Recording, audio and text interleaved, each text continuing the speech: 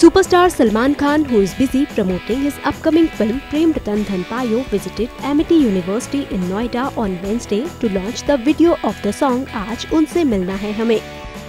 Salman was accompanied by his co-star Sonam Kapoor. The duo also performed on the title song of the film amid loud cheers from the crowd. Sonam took to Twitter to share a video of her performance and wrote, shaking her leg to Prem Ratan Dhan Payo with Salman Khan. The crowd at Amity College was unreal.